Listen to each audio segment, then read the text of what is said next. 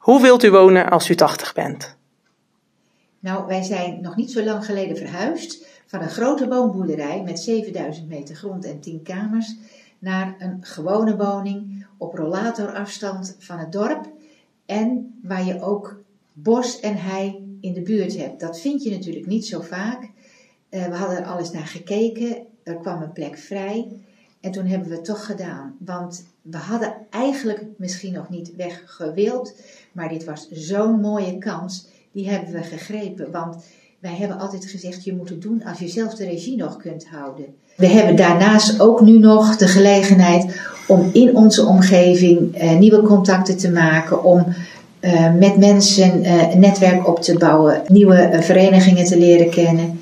Maar ook om je nog thuis te gaan voelen voordat je misschien toch dingen niet meer kan.